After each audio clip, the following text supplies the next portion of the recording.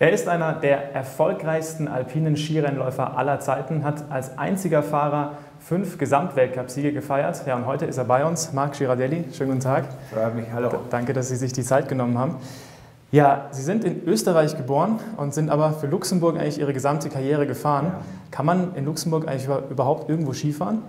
Es hat mal eine Plastikskipiste gegeben, aber eine Winterskipiste nicht. Das ist einfach selten, dass dort Schnee ist. Man kann zwar langlaufen, aber es gibt halt einfach keine Hügel, die steil genug sind, dass man Skifahren kann. Aber mit, dem, mit der Bevölkerung von 350.000 Einwohnern sind doch etliche Leute, die regelmäßig Skisport betreiben und ich bin auch mit sehr vielen noch in Verbindung, die meine Ski-Events immer regelmäßig besuchen. Mhm. Wie ist es eigentlich damals gelaufen? Können Sie das nochmal kurz schildern irgendwie, wie Sie sich mit Ihrem Vater dann auch dafür entschieden haben, gegen den österreichischen Verband und für den luxemburgischen? Es war sehr früh in meiner Karriere. Schon im Alter von mm, acht, neun, zehn Jahren hat es schon Reibereien gegeben mit einigen Funktionären im Skiverband. Es war halt so, dass ich als Lustenauer aus dem Rheintal ein Exot war sozusagen, aus dem Nicht-Skifahrerbereich von Vorarlberg und Dummerweise habe ich natürlich sehr viele Kinderrennen gewonnen gegenüber etablierten Läufern aus Skigebieten oder Rennläuferkindern. Und äh, das war dann halt so, dass es eine Riesendiskussion gab und schlussendlich haben meine Eltern entschieden, jo, hier werden wir wieder alt und haben den Verband gewechselt im Alter von zwölf Jahren, das war 1976. Mhm. Und seitdem bin ich dann für Luxemburg gefahren. Genau, Sie haben es angesprochen, Sie waren zwölf. Jetzt, vergangenes Jahr, zu Ihrem 50. Geburtstag, haben Sie gesagt, ähm, ja, das war eigentlich nach heutigem Ermessen eigentlich idiotisch, diesen, diesen Schritt zu machen. Wie haben Sie das gemeint? Das war eigentlich ein bisschen falsch interpretiert. Ich muss mir da selber äh, einen Vorwurf machen, ich habe das nicht richtig formuliert. Es war, es ist anders rausgekommen, wie ich mir das gedacht habe. Es war eigentlich hirnlos von allen, dass man einen so talentierten äh, Läufer mit 10 oder 12 Jahren so laufen lässt. Als österreichische Mannschaft. jede Mannschaft würde sich da natürlich alle Finger ablecken, wenn sie so ein Talent hätte, weil ich habe das durch alle Altersklassen durchgezogen, mhm. dass sie einfach wirklich äh, in der Altersklasse der Beste war.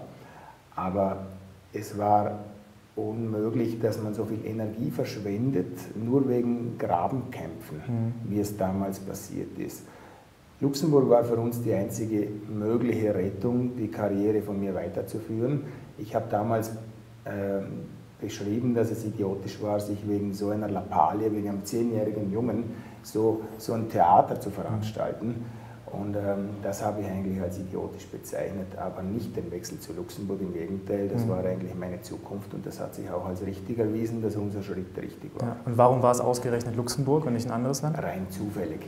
Im letzten Jahr, wo ich für Österreich gefahren bin, waren wir auf einem internationalen Kinderrennen in St. Moritz und mhm. dort haben wir zufälligerweise eigentlich die luxemburgische Delegation kennengelernt und dann war es naheliegend, dass man zuerst einmal die Leute anspricht, die man kennt. Und die haben gleich gesagt, kein Problem, medizinische Untersuchung und die Lizenz war da. Ja. Also das war wirklich sehr, sehr unkompliziert. So ein Talent lässt man sich dann natürlich auch nicht durch die Lappen gehen.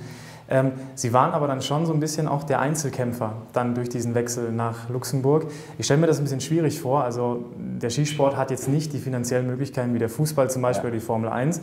Wenn man dann auch nur noch so ein kleines Land wie Luxemburg im Rücken hat, also wie können Sie die Zeit mal so beschreiben? Also was für Schwierigkeiten waren da? Ich, ich denke da auch vor allem an die Reiseproblematik vor allem. Das stimmt schon. Also es ist sehr viel an meinen Eltern hängen geblieben. Die haben das dann von da an selber finanziert. Vom Verband haben wir keine Unterstützung finanzieller Natur bekommen. Aber ich war in der glücklichen Situation, dass ich schon sehr jung eigentlich in die Weltspitze gefahren bin. Ich war schon mit 17 Jahren in der ersten Gruppe bin schon vereinzelt auf Podiums gefahren und mit 19 dann mein erster Sieg.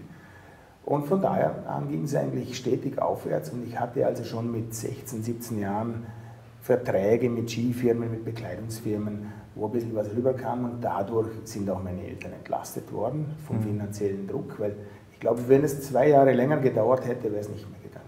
Okay. Ja, Sie haben schon gesagt, also Sie haben den Widrigkeiten gut getrotzt eigentlich, ja. ne? sind mit einer der erfolgreichsten Fahrer aller Zeiten. Ähm, was war denn für Sie persönlich Ihr größter Erfolg? Eigentlich schon, dass ich als Slalomfahrer Abfahrten gewonnen habe. Mhm. Kitzbühel und Wengen habe ich gewonnen im 89er Jahr. Ich habe zweimal den Abfahrtsweltcup gewonnen, 89 und 94. Und äh, das war eigentlich für mich eigentlich das wichtigste Ziel, nicht nur im Slalom, Riesenslalom äh, der Beste zu sein, sondern als Spezialist einfach in der Abfahrt und vor allem im kleinen Team den großen Mannschaften mhm. den, zu zeigen, wo der Hammer hängt. Und das ist mir geglückt, Gott sei Dank. Und von daher ist die Doppelabfahrt in, in Wengen genauso wie Kitzbühel natürlich sicherlich wahrscheinlich mein größter Erfolg. Sie haben mal gesagt, ähm, dass Sie für viele ein Feindbild waren. Wieso eigentlich? Also das hat sich so entwickelt. Äh, wenn man in Kitzbühel die Strecke besichtigt hat, beim Slalom, wo die Zuschauer sehr nahe sind, mhm. Und es werden vereinzelt Stimmen gehört von mir, Vaterlandsverräter und so, von Zuschauern, die eigentlich das Umfeld gar nicht kannten, die Hintergründe, äh, dann es hat mich wenig tangiert damals, aber ich muss jetzt nach heutiger Sicht sagen, als 17-, 18-jähriger junger Rennläufer solche Ausrufe zu hören während der Besichtigung vor dem Rennen ist schon nicht ganz einfach für einen jungen Menschen. Und mhm. ich habe das Gott sei Dank gut verkraftet und habe das eher als Motivation, um noch aggressiver zu fahren, benutzt, als mich da in Lethargie zu, mhm. äh, zu ver, äh, verstecken. Und deshalb hat mir das eigentlich zeitlebens nie sehr viel anhaben können. Aber wie gesagt, Vaterlandsverräter, das ist mir hängen geblieben, das habe ich nie vergessen, weil das ist von Leuten gekommen, die von hinten und vorn keine Ahnung haben. Mhm. Ja. Sie waren ja auch noch einer dieser echten Typen, so wenn man das so will. Ähm, die gibt es ja heute gar nicht mehr so viel. Vielen also, Dank dafür, vielen Dank. Tomba, Tomba war so ein Typ zu ja. Mit wem haben Sie sich eigentlich Ihre härtesten Duelle geliefert? Ja, das war, ich habe natürlich eine sehr lange Karriere gehabt. Am Anfang war das ganz klar Stenmark. Stenmark war der absolute Überbegriff im Skisport. Er war ja 15 Jahre wirklich kaum besiegbar. Und dem konnte ich so Anfang, Mitte 80er Jahre einmal äh, die Show stellen im Slalom und Riesenslalom, bis ich mich dann auf die Abfahrt konzentriert mhm. habe. Und da, wenn es um den Gesamtweltcup ging, war natürlich ganz klar Zurbrücken mein härtester Rivale. Zurbrücken war neben mir mit großem Abstand der stärkste Allrounder. Also es hat, wir hatten im Januar die Punkte zusammen beide, die, die für den dritten Platz nicht erreichbar gewesen wären. Also der, der Sieg hat sich immer nur in über zehn Jahren zwischen uns abgespielt und das war ein harter Knochen. Ich kann mich erinnern, äh, auch wenn er in außer Form war und ich habe mir einen leichten Fehler erlaubt, einmal einfädeln oder einmal eine schlechte Zeit oder eine Schwäche gezeigt, der Hund war jedes Mal da.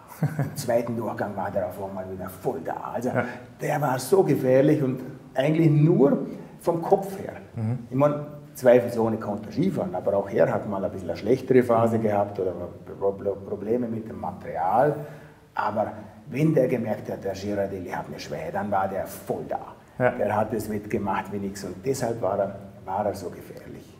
Und äh, bei so echten Typen gibt es ja wahrscheinlich auch abseits der Piste auch ein paar echte Geschichten. Haben Sie da irgendwie gerade eine parat, so, die ein bisschen skurril ist, die ein bisschen lustig ist vielleicht? Ja, Zurbrücken hat mir mal gesagt, in einer schwachen Stunde, er hat ja auch nicht immer gute Momente gehabt, er zieht sich die linke Socke immer als erstes an vor dem Rennen. Okay.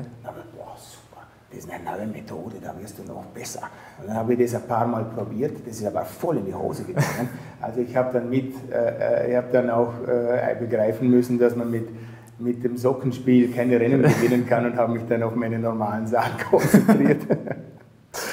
ähm, solche Typen wie Zurbriggen, wie Sie, das, äh, wie gesagt, gibt es heutzutage eigentlich nicht mehr.